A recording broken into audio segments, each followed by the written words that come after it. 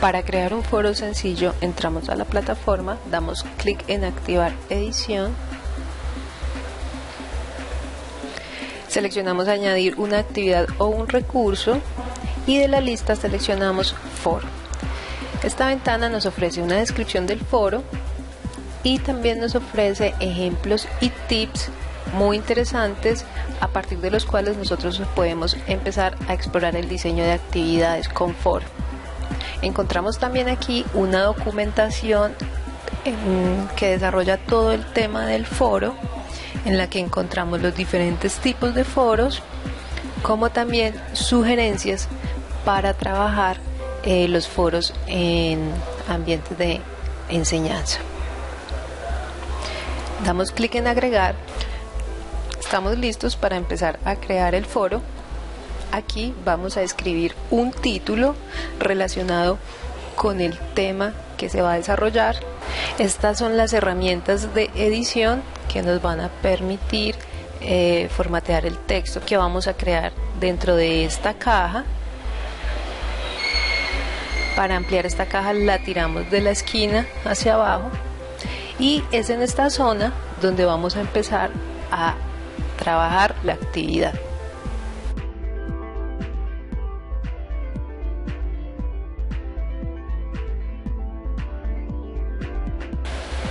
Tenemos aquí un enunciado para eh, dar orientación de lo que los estudiantes deben hacer en el foro.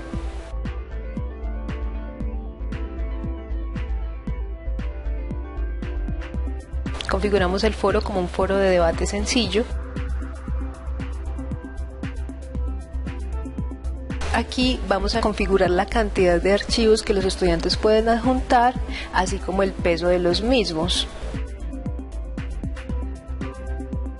En calificaciones vamos a activar la fecha en que estará disponible el foro.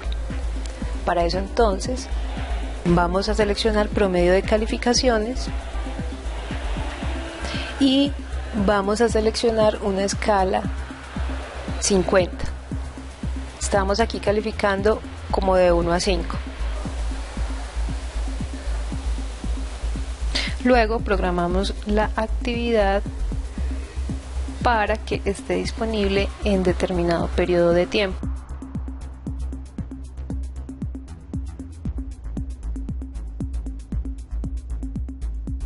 en ajustes comunes del módulo debemos cerciorarnos de que siempre esté en mostrar.